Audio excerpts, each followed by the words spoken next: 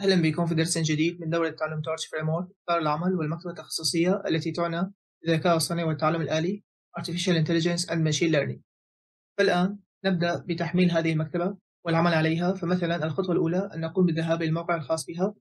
فإذا قلنا مثلا Torch Python نرى هنا الموقع الخاص بها ونستطيع القيام بالاستعلام عنها وذلك باختلاف المواضيع إما أن نقوم بالنظر إلى ال tutorial documentation مثلا get started لأجل القيام بالتحميل وهنا نستطيع القيام بالتحميل مع اختيار هذه الإعدادات مثلا نظام التشغيل وال package إما pip أو غيرها وال platform. فنستطيع مثلا القيام بالتحميل باستخدام هذا الأمر. ونرى هنا الأنواع المختلفة لل Torch فإما ال Torch الأساسية العادية أو المكتبات الخاصة بالرؤية الحاسبية computer vision TorchVision أو ما يتعلق بالصوتيات TorchAudio. فهنا فعليا سوف أقوم بتحميلها وذلك باستخدام أناكوندا من الموقع الأساسي الخاص بها. تمام.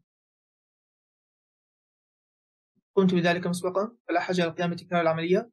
وبعدها نقوم هنا بفتح الأناكوندا والقيام بإطلاق Jupyter. ونحصل بالتالي على هذا الشكل.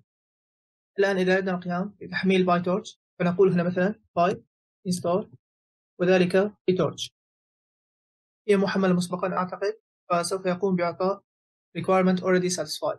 وكذلك بالنسبة مثلا لل vision. ممتاز.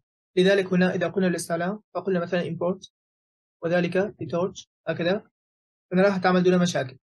وهنا إذا قلنا مثلا بالاستعلام فقلنا مثلا نقوم بعرض النسخة وال version الخاصة بهذه ال Torch فمثلا torch نقوم هنا بوضع underscore underscore version بهذا الشكل.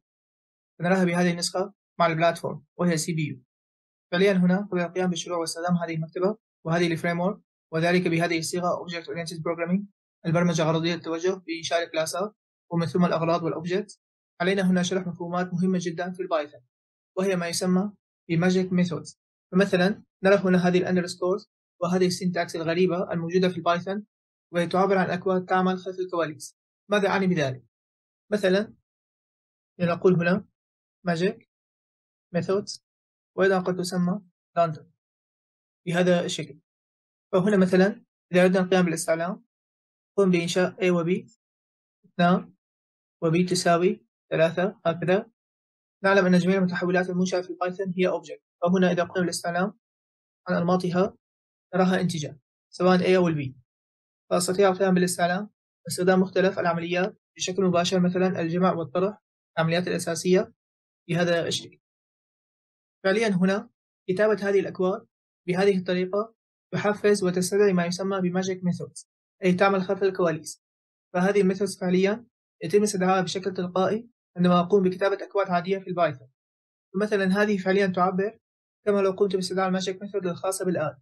فقلنا هنا add هكذا وذلك لل B. فأيضا سوف يقوم بطباعة خمسة. تمام؟ إذا قلنا زائد واحد فسوف يقوم بطباعة ستة.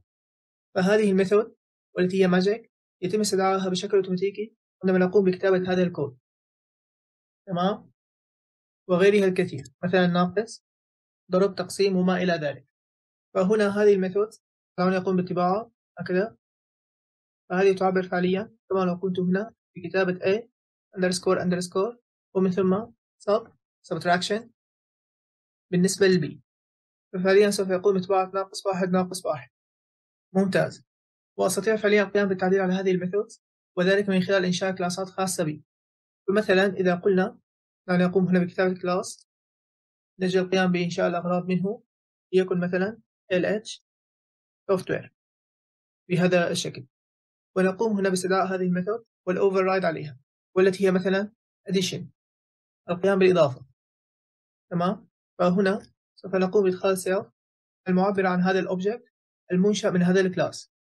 ال self تعني كانما نقوم باستخدام this في كثير من لغات البرمجة. وهنا نقول القيمة المدخلة والمستند إليها والتي هي في مثالنا b موجودة هنا. فنقول مثلا value. نقول هنا على سبيل المثال قم برد return وذلك ب ALH software مثلا add وهنا نقوم بإضافة هذه الفاليو بهذا الشكل. فهنا الخطوة الأولى أن أقوم بالتخلص من هذه. فهنا سوف أقوم بإنشاء object من هذا ال class تمام؟ لا مشكلة. ومن ثم إذا قلنا هنا هذه ال temp زائد نعم فسوف يقوم بطباعة ALH software add 2 بهذا الشكل. نرى هنا كيف تم استدعاء هذه ال magic method بعد القيام بكتابة هذه الأكواد البسيطة. بينما لو قلنا ناقص هكذا. ففعليا سوف يقوم بكتابة ناقص اثنان. لأن القيمة الافتراضية لل temp هي صفر. فهناك إشكالية وذلك لأن ALS software هي ليست integer فهنا سوف أقوم باستيرادها بهذا الشكل.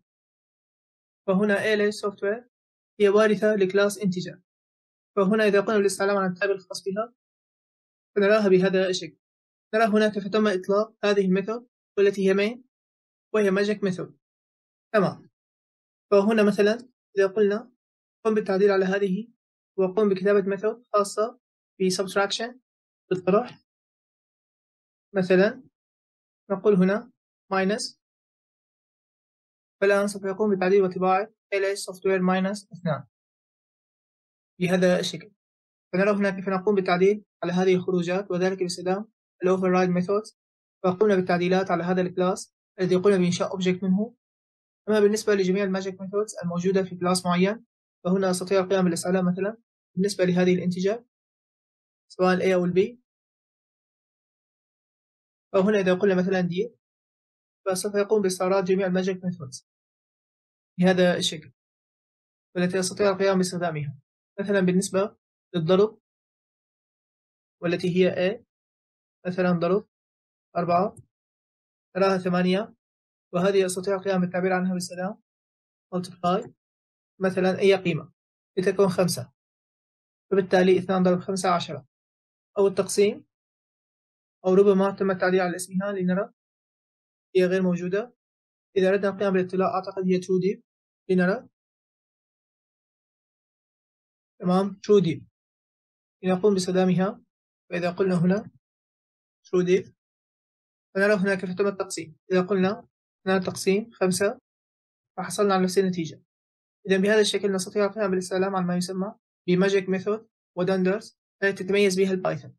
وهذا ما سوف نقوم باستخدامه بكثرة خلال هذه الدورة. وإلى هنا نكون قد وصلنا إلى نهاية درسنا لليوم. أرجو أن يكون الدرس قد نال إعجابكم وألقاكم في الدرس القادم. سلام.